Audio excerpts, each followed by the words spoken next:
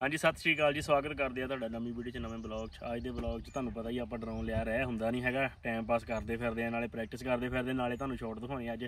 ਅੱਜ ਆਪਾਂ ਆਏ ਆਪਣੇ ਘਰ ਤੋਂ ਥੋੜਾ ਜਿਹਾ ਬੈਕ ਸਾਈਡ ਤੇ ਆ ਸਾਰੇ ਤੁਸੀਂ ਦੇਖ ਸਕਦੇ ਇਹ ਖੇਤ ਆ। ਬਹੁਤ ਵਧੀਆ ਵਿਊ ਇੱਥੇ ਆਉਣਾ। ਆ ਨਾਲੇ ਤੁਹਾਨੂੰ ਇਹ ਜਿਹੜੇ ਡਰੋਨ ਦੇ ਵਿੱਚ ਜਿੱਦਾਂ ਹੁਣ ਜਿਹੜੀਆਂ ਜਿਹੜੀਆਂ ਮਤਲਬ ਕਿ ਆਪਸ਼ਨਾਂ ਮਿਲੀਆਂ ਸਾਨੂੰ, ਹਨਾ?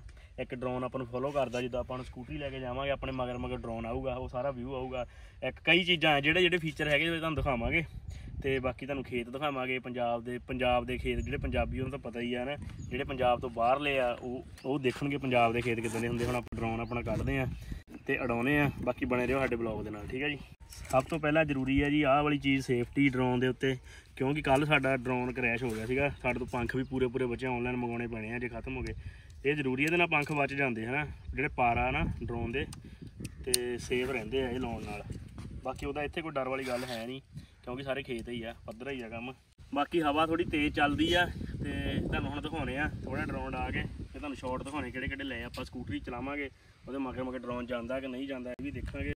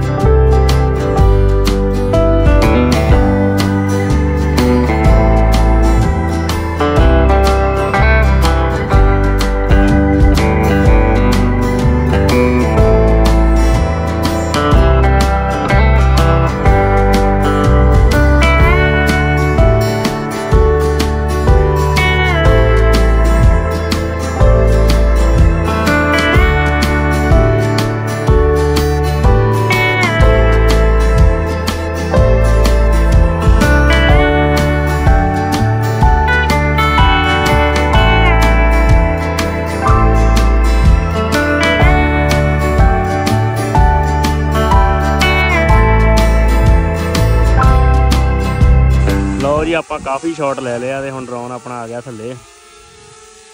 ਤੇ ਇਹਨੂੰ ਲਾਈਏ। ਆਪਾਂ ਵੈਸੇ ਪ੍ਰੈਕਟਿਸ ਕਰ ਰਹੇ ਨਾਲ ਵੀਡੀਓ ਪਾ ਰਹੇ ਆ ਤੁਸੀਂ ਵੀ ਦੇਖੋ ਹਨਾ। ਤੇ ਬਾਕੀ ਮਿਲਾਂਗੇ ਤੁਹਾਨੂੰ ਹੋਰ ਕਿਸੇ ਬਲੌਗ ਦੇ ਨਾਲ, ਜਿਹੜੇ ਨਵੇਂ ਚੈਨਲ ਸਬਸਕ੍ਰਾਈਬ ਕਰ ਲਓ। ਤੇ ਆਉਣ ਵਾਲੇ ਟਾਈਮ 'ਚ ਤੁਹਾਡੇ ਲਈ ਵਧੀਆ ਵਧੀਆ ਆਪਾਂ ਬਲੌਗ ਲੈ ਕੇ ਆਉਂਦੇ ਰਹਾਂਗੇ, ਠੀਕ ਹੈ ਜੀ? ਜਿਹਨਾਂ ਭੈਣ ਭਰਾਵਾਂ ਵੀਡੀਓ ਦੇਖੀ ਉਹਨਾਂ ਤਹਿ ਦਿਲੋਂ ਧੰਨਵਾਦ ਹੈ। ਮਿਲਾਂਗੇ ਤੁਹਾਨੂੰ ਕਿਸੇ ਹੋਰ ਬਲੌਗ ਦੇ ਨਾਲ। ਤਦ ਤੱਕ ਲਈ ਸਾਰਿਆਂ ਨੂੰ ਪਿਆਰ ਭਰੀ ਸਤਿ ਸ਼੍ਰੀ ਅਕਾਲ।